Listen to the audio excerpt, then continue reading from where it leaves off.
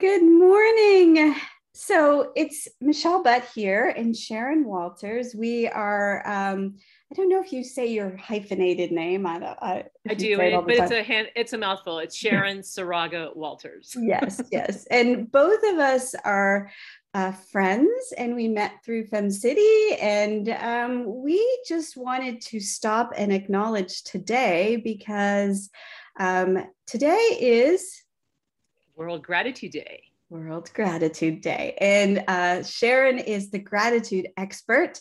So I had her chatting to uh, the members of my group, the Prosperous Businesswoman, this morning, and we are doing um, gratitude festivities throughout the day with the membership in there. And so Sharon and I thought that we would just do a little video to share this concept with all of you today because gratitude is Sharon's passion and her work and her forte. And so she's the expert. And um, I just wanted to honor a day like today because there is so much to be grateful for and so many people that touch our lives that I wanted to stop and acknowledge them and acknowledge being grateful for this life. And uh, what did you, you, we just shared a little story to, with each other this morning. And did you want to elaborate on that?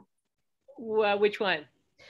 Uh, well, why don't you share the um, the origin of World Gratitude Day? Okay, sure. Yeah. Yeah. Um, yeah, because for those of you who don't know um, how World Gratitude got started, which I did not know until last year, actually, um, it was started by a gentleman. His name is Sri Chinmoy. He's he's from India, and he's a spiritual and meditation teacher. And he he did that um, at, at the UN and and night that was in 1965 um, they he had suggested that there should be a day um, that gives thanks to the world and that the whole world could celebrate. And then in 1977 they honored Sri Chinmoy at a ceremony in New York at the UN New York headquarters and they honored him for and this resolution was passed in 1977 so World Gratitude Day has now become a worldwide movement. And it's the 40, today is the 44th World uh, Gratitude Day. So that's really, it's a wonderful thing. And, you know, as Michelle said, yes, I, I have really, my life is dedicated to gratitude and, and, and using it in my life. And for those who are open and want to, um, to share it with them as well. And at first I thought, well, wait a minute, you know, one day, but you know, I got to thinking about it one day is a great start. It's a great reminder. It's a it's a great continuation for people to really stop today and to really use the day today to um, really use your practice of gratitude. Um, you know, saying hello to people, smiling, just really putting the attention on that. Um, I do. I really. I think it's a wonderful idea, and it's a wonderful way to to honor Sri Chinmoy, who started this many years ago. Yeah. And I think having a day, even though it's like Mother's Day or Father's Day, we have a day where we honor people, but it, it's, we should be doing it every day. Right. And so um, the World Gratitude Day, I think, is a reminder to stop and find gratitude and then that acknowledgement can then begin a practice that um, continues every day.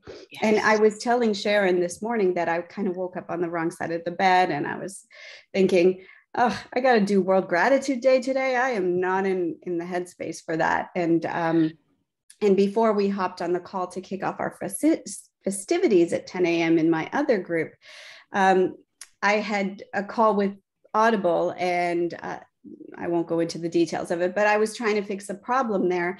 And um, the lovely person on the phone, just be- before we were going, I, I was hanging up, she said, You know what? I'm going to give you an extra credit on me. Buy a book on me today. And, and I wasn't expecting it. I didn't need it, but it was just such a beautiful gesture. And, you know, you could say, Oh, it's a audible credit but it was something someone didn't have to do that was kind and um, and it just completely changed my mood. And I realized, oh, I'm grateful for this kindness. And it's those little things that when you stop and realize oh, there's still beauty in the world, there's still kindness, there's despite all the crazy, there's there's just energy that is loving, then that is what gratitude is about. And when you mm-hmm. acknowledge that, then it can shift your entire day. Like my mood is so different and it is just because of that one little thing and that person may never know it and you know that's part of your work writing those thank you letters right and i don't even know who she is and so i may never tell her that but i'm sending that energy back to her and i'm paying it forward and i think that is the spirit of gratitude and that is the spirit of acknowledging it on a day like today so um so thank you for sharing this discussion with me and for doing this little after video so that we can share with our friends um, wherever we want to share. And uh, and then you had a little anecdote to my to your story. so, so yeah, I shared with you that I don't know why it came to me, but um, when Michelle shared her story, what came to me was to, to, to let you know that perhaps when you got up in the morning and were feeling that way that you were feeling, the words came, stop and give me one gratitude. Um, because the same way you shared about how much better you felt instantly when she was so kind to you you know that's the secret of gratitude and that's what is amazing about it and how fast gratitude can shift i don't know mm-hmm. anything else that is more pure and eh, or anything that shifts yourself as gratitude and that's the greatest secret that i know and why i do the work that i do and the other thing you were talking about the other thing about gratitude is it brings you to your heart. It mm-hmm. gets you mm-hmm. out of your head to your heart. That is the other amazing gift that gratitude brings to you. And, and I just so encourage today and the days following, really notice how the shift, how you're feeling, what it does. Because the more and more you see it, feel it, the more and more you're, you're going to keep doing it. And, and, and this, the other thing about that is it's something that's a life process. It will not, you can't just stop it and it's going to carry with you. No. Uh, it's not a bad practice, but it's one that really is a lifer that you, yeah. you have to keep doing, but it's worth it.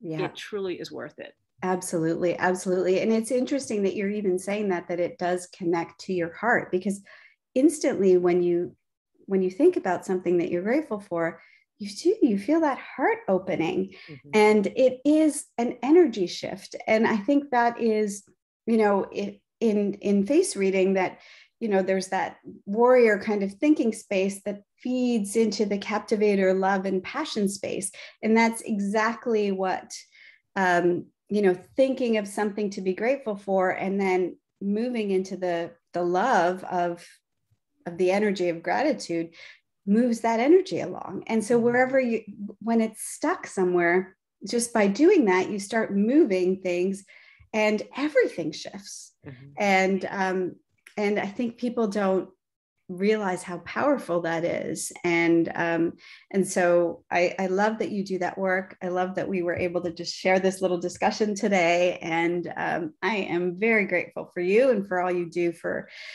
me as my friend and for all you do for the women in um, my facebook group uh, every week reminding us about gratitude and then today sharing this day with me. Thank you so much. Mm.